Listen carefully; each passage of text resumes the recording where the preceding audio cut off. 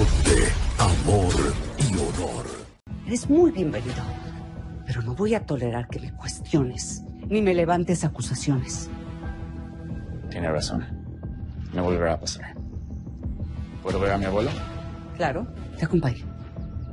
Una cosa más.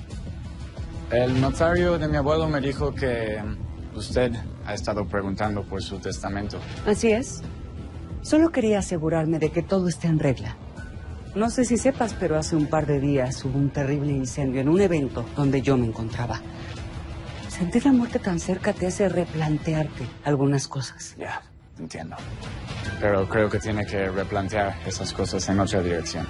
El notario no tiene por qué darle acceso a esos documentos.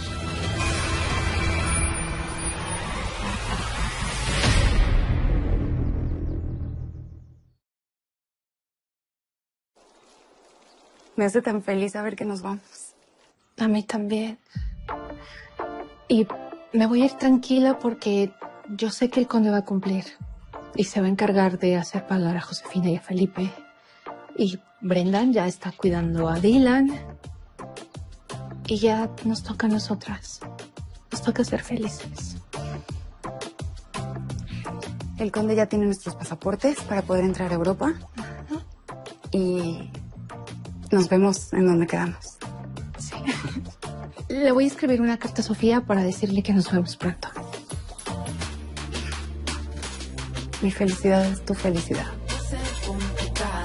Eres incapaz de ver otro lado. Así que bye bye, quédate solito. Vamos, abuelo. Un paseo por la hacienda te va a hacer bien.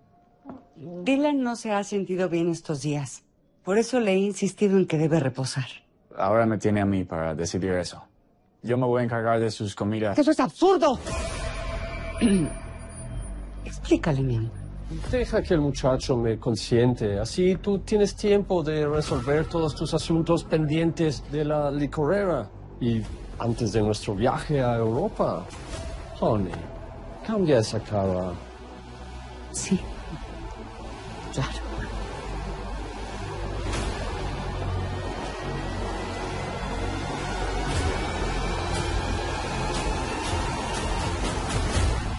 Vine tan pronto cuando me avisó todo lo que había pasado. Hablaste con el notario. Entonces, vamos, no hay tiempo que perder. Dolores, sigue sin comer nada. ¿Le vas a hacer la grosería después de todo lo que he hecho por ti? Fue muy amable en dejar que pasaras aquí la noche. Hasta te prestó un vestido. Se ha portado muy bien conmigo. Gracias. Pero no tengo apetito. Te vas a venir conmigo al Palacio del Conde. No. Yo me voy a regresar a mi casa.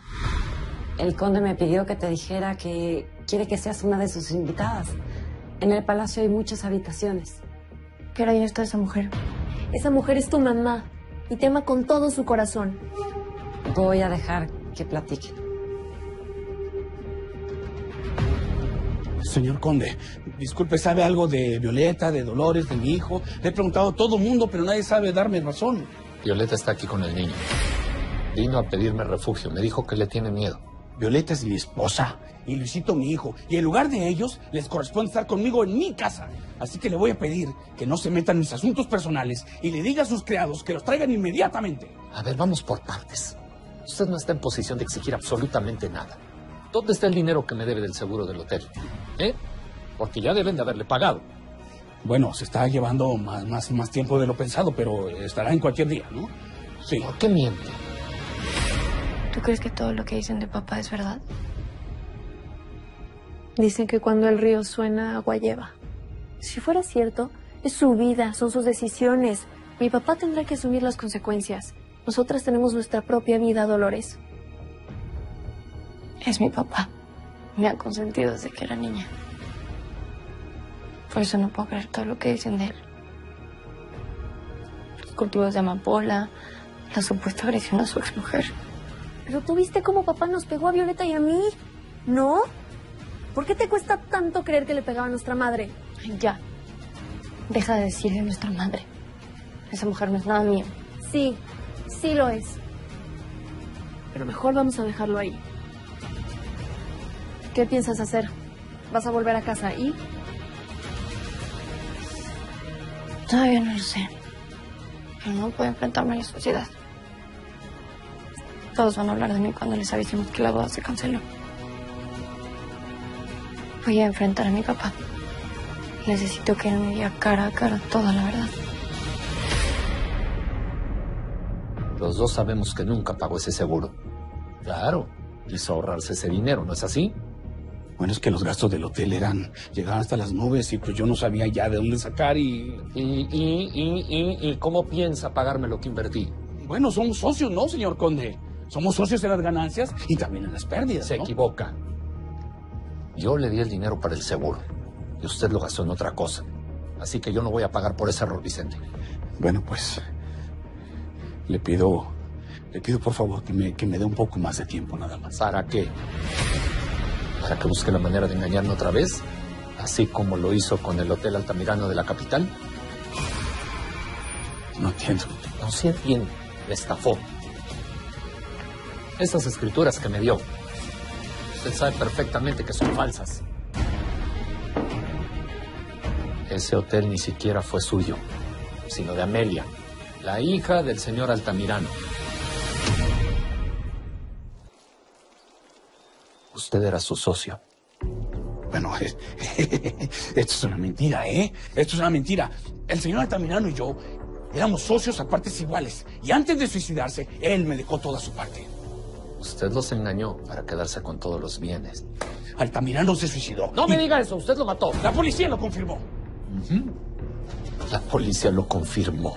Usted falsificó esas escrituras y después se quedó con todo. Usted es un criminal, Vicente, un delincuente. Y se ha hecho rico a costa del sufrimiento de los demás. Esas son mentiras. Esas son calumnias. Usted, usted no tiene nada, nada con qué demostrarme lo que está Te diciendo. equivocas, Vicente. Tengo años juntando las pruebas para mentirte.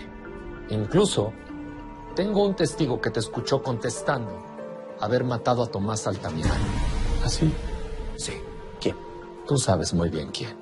Una niña de apenas 10 años a la que no te importó destruirle la vida. Amelia Altamirano